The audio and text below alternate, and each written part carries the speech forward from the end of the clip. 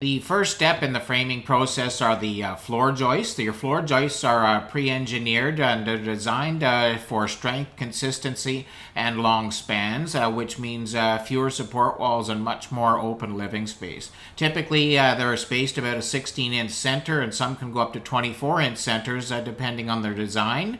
the joists can also span over 20 feet, making them perfect for today's open concept homes. once your joists are in place, the next step is the floor sheeting. Uh, builders are typically using aspenite or plywood sheets uh, to cover the joists and uh, make a strong base for the home.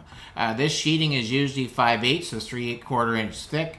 Uh, depending on the span of the building and the code requirements. Uh, the sheets are laid uh, perpendicular to the joists, glued, nailed down to prevent uh, squeaks and staggered for strength.